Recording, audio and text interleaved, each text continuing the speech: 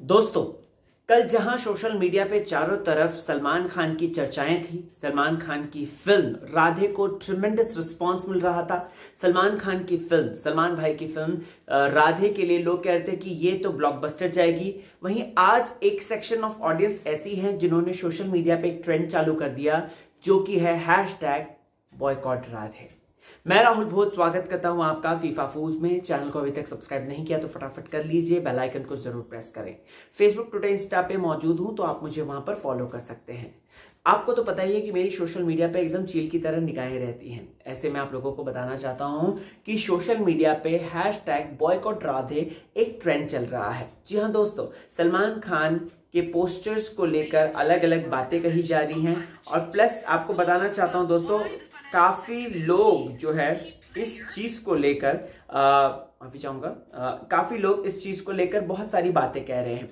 कुछ लोग दोस्तों आ, कह रहे हैं कि movie remake of outlaws dialogues from Wanted poster break break movie song Seeti Maar Allu Arjun Nadia Nadia dialogue Tony Kakkar dialogue so दोस्तों, आपको बताना चाहता हूँ कि इस तरीके से लोग जो हैं, बुरी तरीके से ट्रोल पे ट्रोल कर रहे हैं सलमान खान की। फ़िल्म को और राधे को और कह रहे हैं कि हमें नहीं देखनी है राधे और काफ़ी काफ़ी अलग अलग बातें कह रहे हैं, ऐसी बातें भी कह रहे हैं जो कि मैं कह नहीं पाऊँगा। So it's it's very very much you know disturbing I can say that देखिए अभी फ़िल्म को कॉपी को लेकर कह रहे हैं कि ये कॉपीड है, ये है, वो है।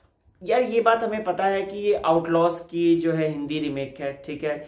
पोखरी वाला जो सॉन्ग कह रहे हैं सॉरी पोखरी नहीं सिटी मार वाला जो सॉन्ग कह रहे हैं तो सिटी मार यार ये ऑलरेडी न्यूज़ में आ चुका था कि वो सेम मतलब कि हिंदी वर्जन होगा, उसके राइट्स खरीदे हैं सेम म्यूजिशियंस को लिया गया है। तो इसमें कॉपीड क्या और क्यों इस तरीके का ट्रेंड चालू हो रखा है, ये हमें समझ में नहीं आ रहा।